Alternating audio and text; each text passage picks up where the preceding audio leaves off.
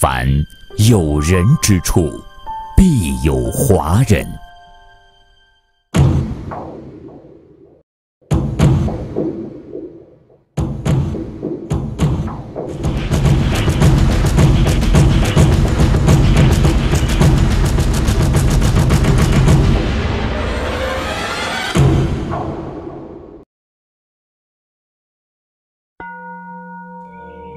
当时的高僧大德里，净空法师是最知名之一。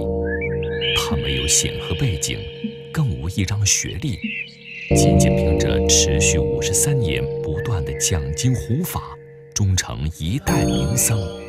他宣扬佛陀圣哲人生，提倡多元宗教，弟子遍布全球，终如一道清流，安定了无数颗迷惘的心。本期第一访谈专访高僧净空法师，敬请关注。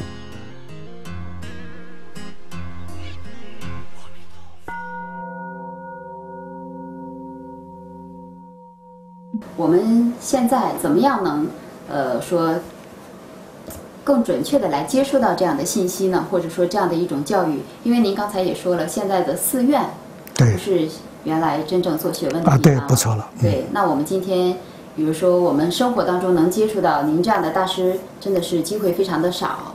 那其他人说，普通人他如果想，呃，接近佛陀教育啊，想学习，那可以通过什么样的方法？很这个比较上困难。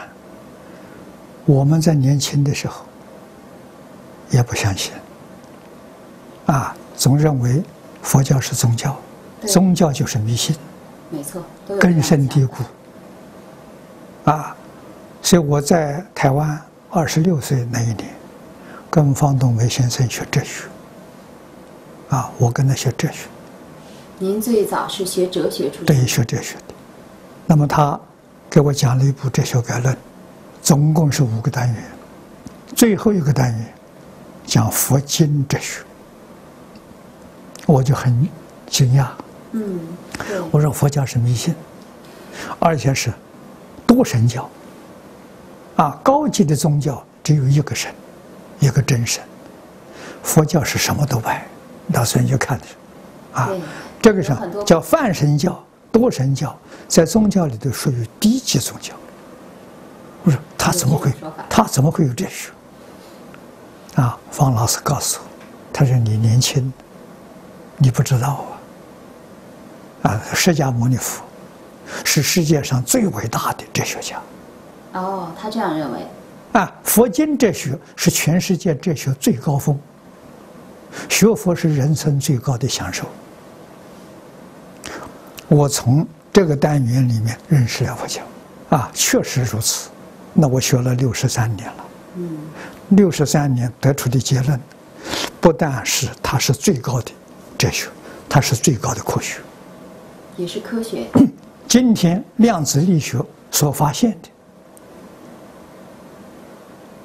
得的这个这个这个呃发现的宇宙奥秘，佛经上却有。哦，等于说你们到科学用了四百多年去研究才知道的东西，佛经它三千年前跟你说的比现在还清楚。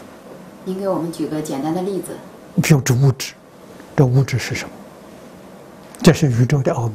嗯，啊，我看的报告是德国普朗克的，啊，他是他是领导一个小一群人，专门研究物质，物质到底是什么？啊，怎么研究法呢？就是分析，这个就是近代这个物理学的时候微观世界，它向两个方向发展，一个是宏观宇宙，就研究天文，这个是研究物质。一个是研究无穷大，这是研究无穷无限的小。八十年前，科学家发现原子，那个时候认为原子就是物质的最小的了。对，啊，所有的物质都是它组合起来的，啊，最小的最小的单位了。你看最近这个这些年来，科学技术突飞猛进，啊，把原子打破了，发现原子里头有原子核，有中子，有电子，啊，再把这个个个打破，啊，发现了基本粒子，基本粒子还可以打破，变成夸克。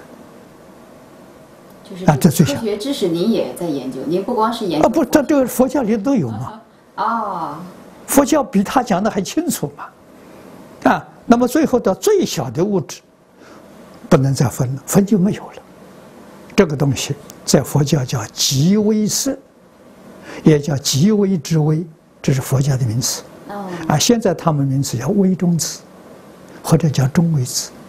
这个东西再打破它，没有了，物质现象没有了，所以他们发现得出来的结论，所谓物质现象是假的，不是真的。那它从哪儿来的呢？世界上根本就没有物质这个东西。嗯，那物质是怎么形成？是错觉，啊，错觉形成的。那这个椅子我们实实在在的坐在上面，哎，坐下你不知道它，它科这个科学家知道，他们知道，连星球都是假的，嗯，啊，都不是真的，啊，所以宇宙科学家把宇宙分为三样，一个物质现象，一个精神现象，就是念头，一个自然现象，这三个全包括了。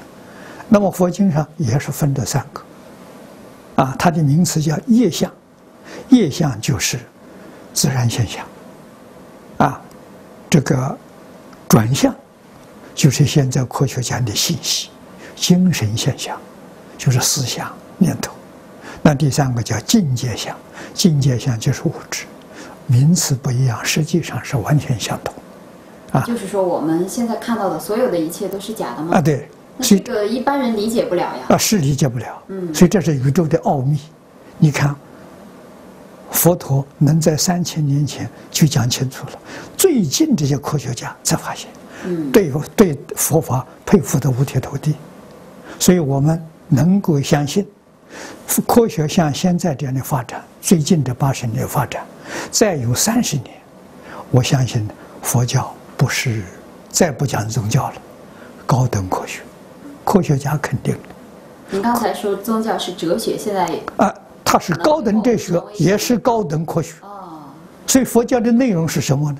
它入世的，就是对于世间这个治国平天下的，它是伦理、道德、因果就不光是可以指导我们做人做事，啊。对还可以治，国平天下，。对对，不错哎，它往上去的时候就了解整个宇宙。啊，这就是属于哲学跟科学了，啊，所以科学家现在不断研究物质从哪里？物质从念头来的。啊、那呃，是不是可以这么理解为，比如说晚上我们做梦，做梦的时候，我们觉得那个好像也很真实，对实际梦醒了之后，发现一切没错，没错，没错。现在也是在做梦，啊，是吗？等到你醒了过去之后，这个现象没有痕迹都找不到。啊，它真的是假的。所以，《金刚经》上佛给我们讲：“凡所有相，皆是虚妄。”啊，这个相就是精神现象跟物质现象，还包括自然现象。嗯，都不是真的，啊，从哪里来的？从心想生，啊，心想从心想生，被近代科学发现了，啊，物质分到最后没有了，物质没有了看到是什么东西呢？念头波动的现象，哦这是恍然大悟，原来物质现象是念头波动产生的幻觉，这不是真的。嗯，啊，如果单单讲一念一念，你决定体会不到，啊，无法无法体会，这一念有它它的频率太高了，啊，佛经上讲的这个频率，他说一弹指有多少个念头？三十二亿八千年，八千是十万，三十二亿乘十万。这一弹指就三百二十兆。那我们现在这个实际上用秒做单位，一秒能弹多少次？啊，一般的是弹五次以上，有人说可以弹七次。如果弹七次，那一秒钟这个多少个念头呢？嗯，三十二亿乘七，两千两百兆。啊，一秒钟。我通常讲的时候，我很保守，我讲五次吧。嗯啊，五次是一千六百兆，一千六百兆次一秒钟，一千六百兆次这个频率，你怎么会知道？事情呢就在眼前。嗯。啊，普遍到处都是，没有人能知道。那我们发现了这个奥秘之后，那有的人说这个好像太大了，跟我自己的生活有什么关系？啊，有关系。你真正明白之后了，你从今之后再不会生病了。不会生病了。对。那这个是每个人都希望的。啊，对对对，不说。啊，为什么呢？念头可以改变我们身体。你有好的念头，你全身都健康，哦，身心健康。啊，孙中山先生死的太早了。如果多活十年，中国不会像这样子。啊，他对于西方中的了解透彻。啊，他在三民主义、民族主义第四讲里头有一段话说：“他说外国除了机器比我们好，我们比不上他。除这一个之外，他哪一样都比不上中国。”嗯，就是我们有根基。啊，对了，我们这东西太丰富了。你看这边这一套书就《四库全书》。嗯。